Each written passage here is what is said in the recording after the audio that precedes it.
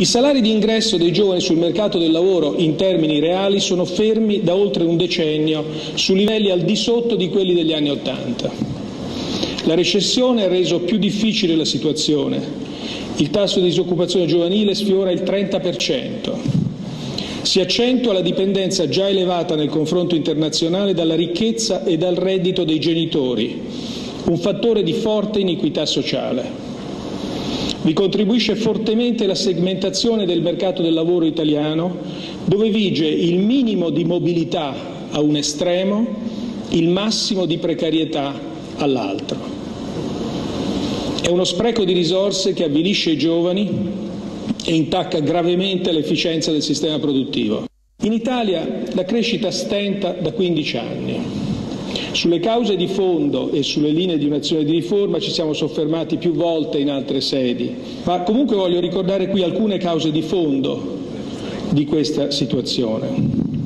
Prima di tutto, a beneficio della crescita di tutta l'economia andrebbe un assetto normativo ispirato pragmaticamente all'efficienza del sistema. L'Italia si segnala ancora in tutte le classifiche internazionali per l'onerosità degli adempimenti burocratici, specie quelli addossati alle imprese.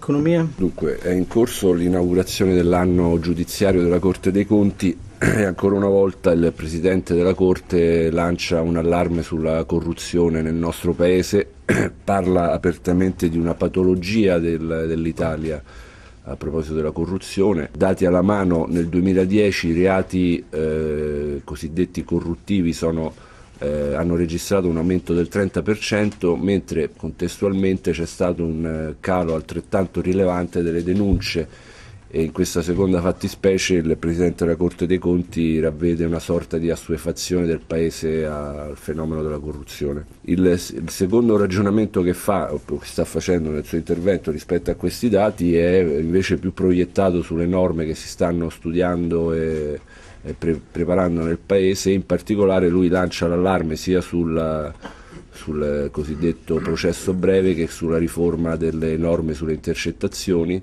sostenendo che si tratta in tutti e due i casi di, eh, di rischi molto forti nel, nel ridimensionare la lotta alla corruzione.